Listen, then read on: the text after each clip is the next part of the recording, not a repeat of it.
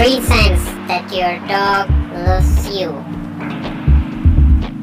Always staring you. Playing with your slippers. Playing with your clothes.